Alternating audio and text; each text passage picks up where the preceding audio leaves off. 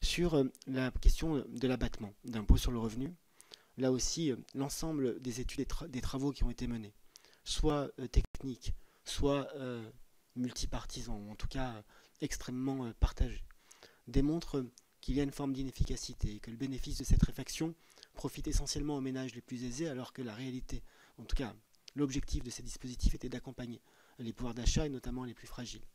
Nous ne les supprimons pas, nous réduisons les plafonds,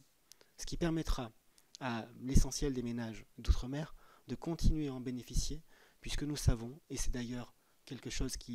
nous pouvons regretter les uns et les autres, que le, niveau de revenu des ménages en outre-mer euh, est euh, généralement plus bas euh, qu'en métropole et que donc l'inscription dans l'impôt se fait à un niveau un peu plus bas qu'au niveau métropolitain.